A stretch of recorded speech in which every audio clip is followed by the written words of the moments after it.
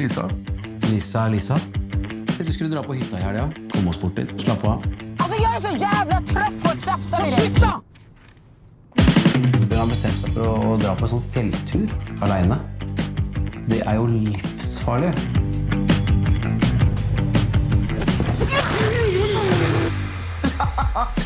Skulle du, skulle du stryke mig?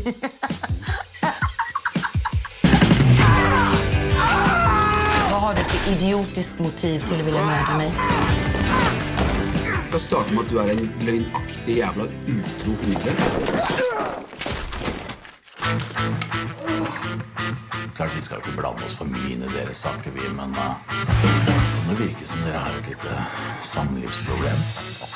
Han havner her. Jeg var så kjær i deg. Hold kjeft! To millioner hvis du blåser huet av henne her og nå.